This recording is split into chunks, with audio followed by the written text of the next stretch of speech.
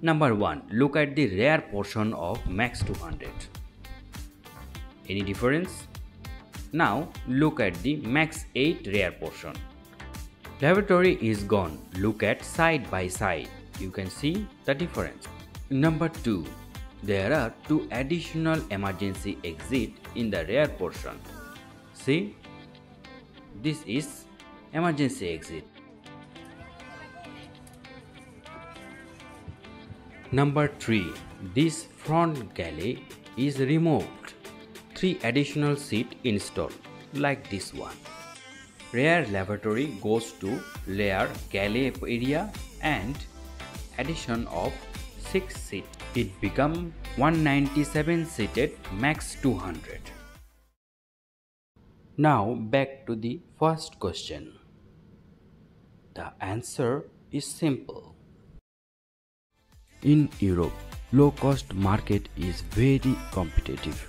There are lots of low-cost airlines serving in Europe. Also, the major brands like British Airways or Air France using high density aircraft in case of regional and domestic market to lowering the price. That is why 5% reduction in case of operating cost is very important for Ryanair. Usually the low-cost carrier never offer complimentary food on board and in case of Ryanair, the average flight duration of Ryanair is 2 hours. So within this time demand of onboard food is very minimum. So most of the time the galley area remain unused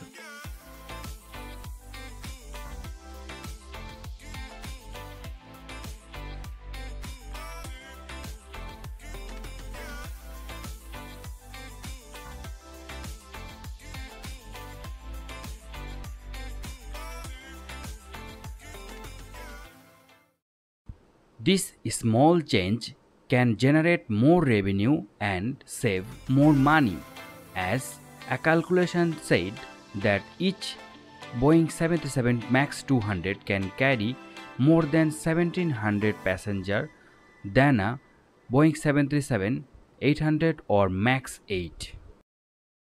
Despite all this, the first cons is about the seat pinch. The seat pinch of Ryanair MAX 200 is 28 inch which is below the average compared to the existing Ryanair Boeing 737-800. Secondly, the MAX 200 is unable to fly for a long time due to lack of comfort for the passengers.